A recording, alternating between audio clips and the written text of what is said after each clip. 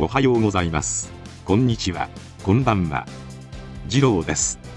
今回は、総選挙の予想と争点です。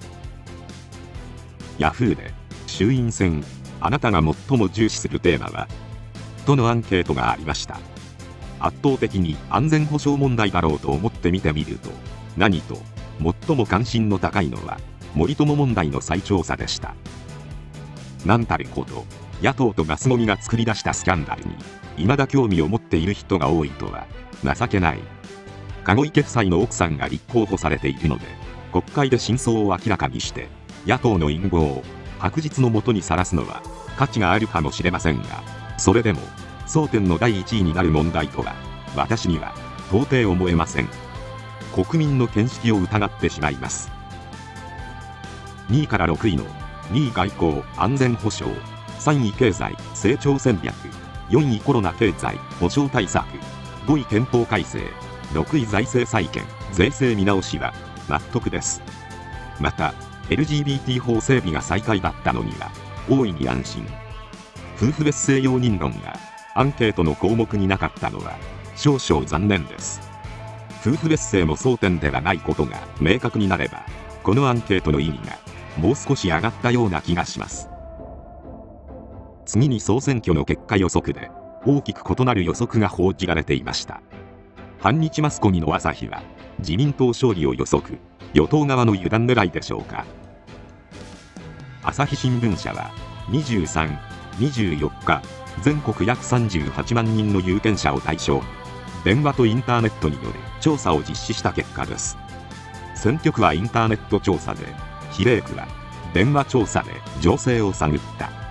調査時点で投票態度を明らかにしていない人が選挙区は4割。比例区は3割より。今後情勢が大きく変わる可能性もあるとのことです。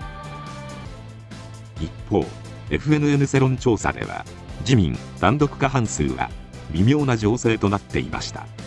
調査は10月23日24日に全国18歳以上の男女15万5045人を対象。電話 RDD 固定タス携帯で行ったとのことです。同じ日時に実施した調査でなぜここまで評価が異なるのでしょう。朝日の小選挙区の調査がインターネット調査だったことが影響しているのかもしれません。FNN のアンケート結果を引用し有本香さんが FNN の調査では自民の単独過半数維持は微妙。立憲共産党は共に議席増。維新も議席増。仮にあと1週間でこの情勢が変わらなければ永田町は現状よりさらに親中に傾く恐れがある。この選挙は従来の自民か野党かの争いではない。私たちは今他国の浸透を止められる田舎の分岐点に立っている。と警鐘を鳴らされています。私も同感です。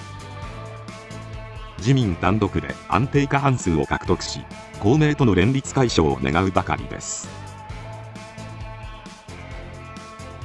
最後までご視聴ありがとうございました。また次の動画でお会いしましょう。雑多な動画を配信していますがもしよければチャンネル登録してやってください。